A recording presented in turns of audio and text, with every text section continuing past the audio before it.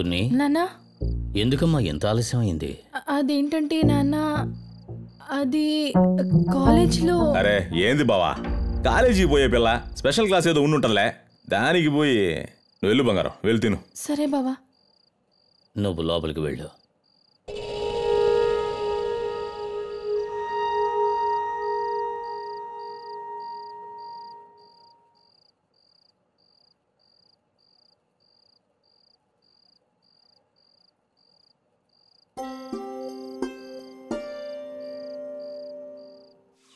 రే మధు వాళ్ళ బావ గురించి నీకు తెలుసుగా? మీరిద్దరూ కలిసినప్పుడు చూశాడు. ఏం చేస్తాడో ఏంటో. దానికి భయపడితే అంతా సమస్య పోతుందా? ఎప్పుడైనా తెలియాల్సిందే కదా. అది ఈ రోజే తెలియని. మధు!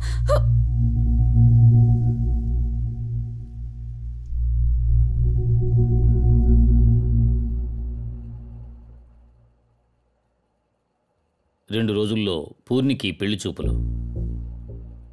ఏమిటంటే హఠాత్తుగా అంటున్నారు? పెళ్ళి కొడుకు ఎవరు?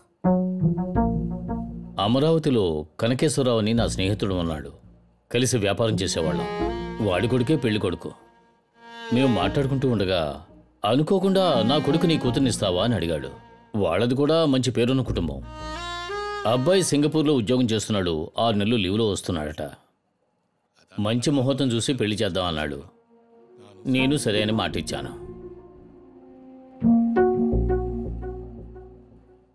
ఈ పెళ్ళి కొడుకు పోతేనే ఇంకో పెళ్ళి కొడుకుని చూద్దాంలే.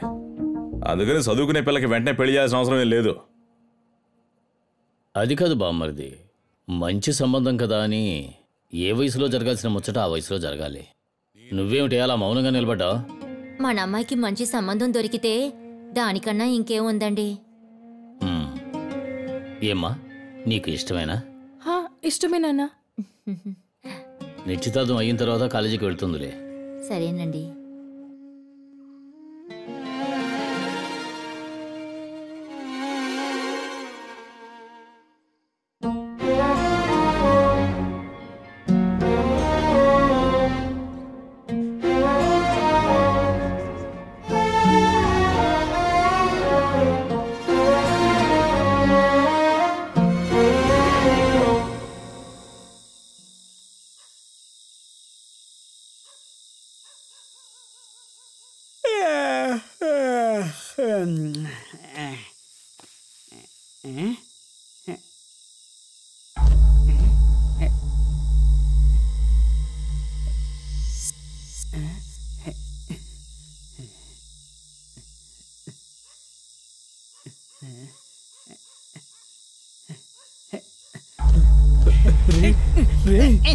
నేన్రా.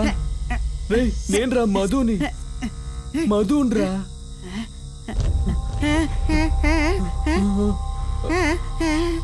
ఊరి నుంచి చూడాలరా.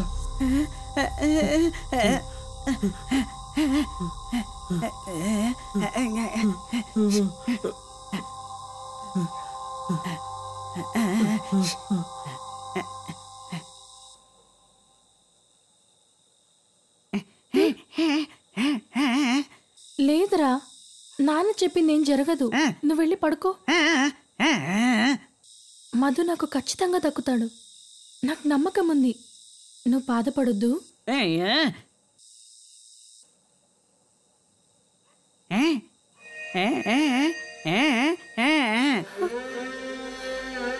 మధు వచ్చాడా?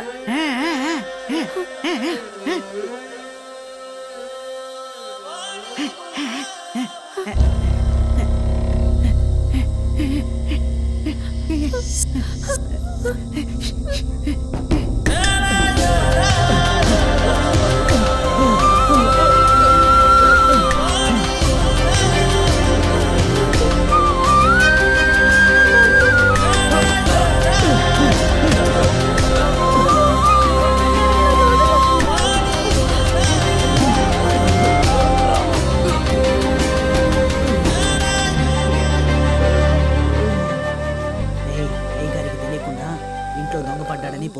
ఉపయోగించండి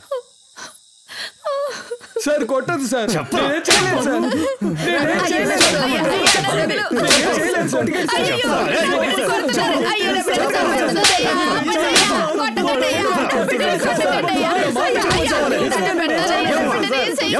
చెప్పండి సార్ బయటికి పంపించండి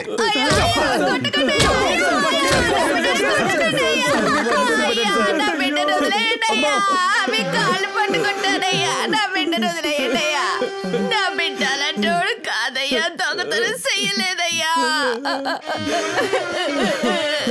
కన్ను కడుపు కాలిపోతుందయ్యా కాలిపోతుందయ్యా వాడిని దొంగతనం చేయలేదు సార్. వదిలేయండయ్యా, నా ఉన్న అమ్మాయిని లవ్ బిడ్డ చేస్తున్నాడు సార్. కాదయ్యా. ఆ అమ్మాయి కోసమే సార్ వెళ్ళాడు ప్లీజ్ వాడిని వదిలేయండి సార్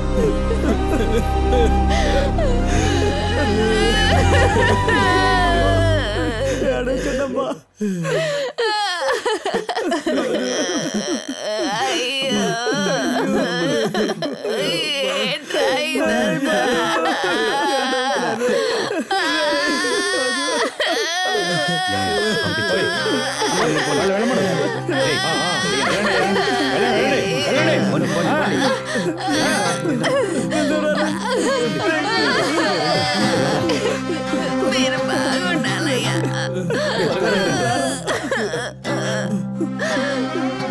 రేయ్ లవ్ చేయడం తప్పు కాదు. అర్హతకు మించి చేయడమే తప్పు. ఇప్పుడు బాధ వరకి కన్న తల్లికేగా. అర్థం చేసుకుని నడుచుకో. ఇకనైనా బాగుండు వెళ్ళు వెళ్ళు. రేయ్!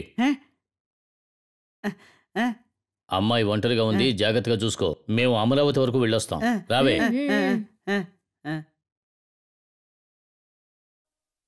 ఏంటి బంగారం? నాకేం జరుగుతుందో అర్థం కావట్లేదు బావా. నాకు మధు కావాలి. ఏడవకురా. ఆ మధుగడు బయటకు వస్తాడు మీ ఇద్దరిని కలిపే బాధ్యత నాది. చూడు కళ్ళు ఎర్రగా ఉన్నాయి. ఏడవకే. భోంచేసావా తిన్నావా లేదా? లేదు. రేయ్ వెళ్ళి అన్నం తీసుకురా. కూర్చో.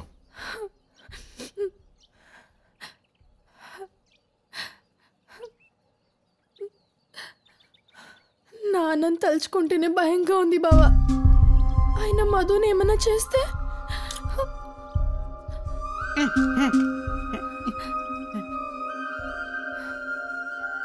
నువ్వు భయపడకు. నాతో నేను మాట్లాడతాను. అను. అన్నట్టు మధుని పోలీస్ స్టేషన్ నుంచి ఇంటికి తీసుకొచ్చారంట. నేను వీడు వెళ్ళి విషయం ఏంటి కనుక్కొని వస్తాం.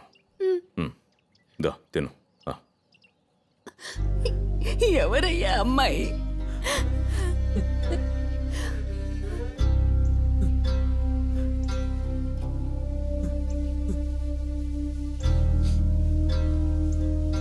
పూర్ణిమ. నీకు అమ్మాయి అంటే అంత ఇష్టమా?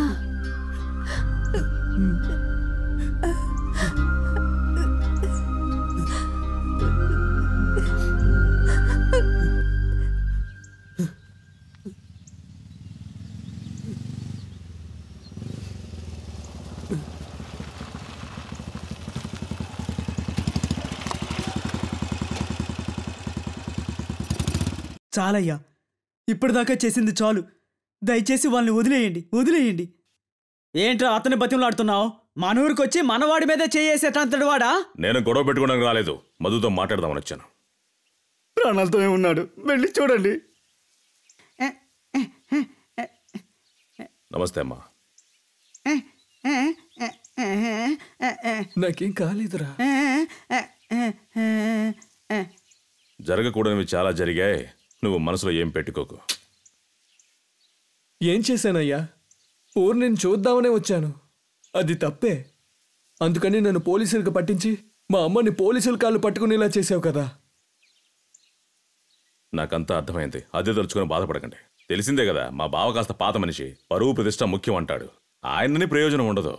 ఆయనకున్నది ఒకే ఒక కూతురు పిండి సంబంధం చూసి పెళ్ళి చేయాలనుకుంటాడు.